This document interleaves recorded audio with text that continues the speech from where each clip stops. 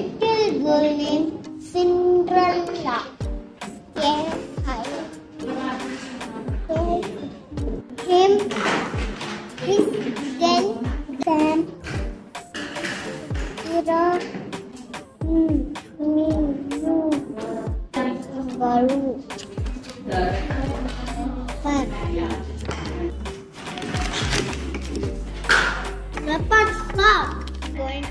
About current cartoons.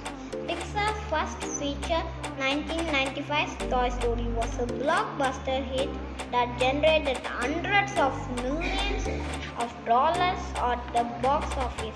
Audiences were wowed by the movie's fresh new visual style and engaged